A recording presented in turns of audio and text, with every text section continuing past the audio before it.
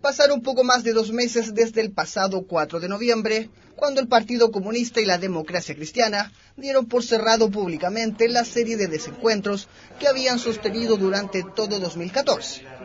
Altercados que mermaron las relaciones dentro del oficialismo y que tras una serie de reuniones en la moneda se dieron por superados, pero que este sábado se vivió un nuevo capítulo. El PC comenzó a reunirse con sus pares dentro del pacto Nueva Mayoría en busca de llevar juntos un candidato presidencial a las primarias de 2017 para competir contra la Falange. Ayer tuve una reunión con el Partido Socialista, creo que son bastante coincidentes nuestro eh, propósito, nuestra visión de futuro.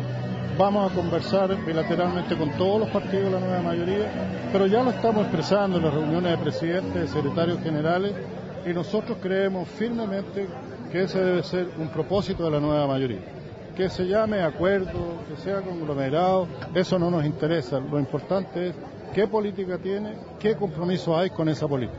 Eso lo de fondo.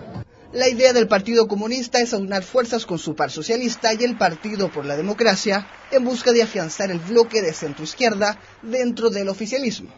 Los desencuentros con la DC durante el 2014 tuvieron relación gran parte debido a los temas valóricos no tiene sentido, no, es extemporáneo eh, adelantar definiciones presidenciales, porque lo que los chilenos demandan hoy es que trabajemos por resolver sus problemas, como lo está haciendo el gobierno.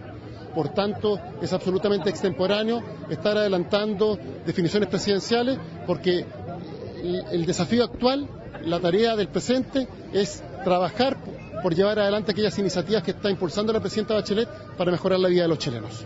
Lo presidencial vendrá más adelante porque no, no es el momento.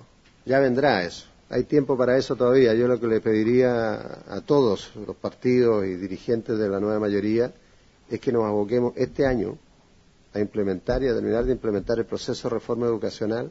Los proyectos personales de algunos, bueno, tienen tiempo para eso, un par de años más todavía Las reuniones de los partidos más cercanos a la centroizquierda al interior del oficialismo son el primer episodio en donde comienzan a aparecer diferencias que hacen temer nuevos desencuentros en 2015 al interior del pacto de la nueva mayoría.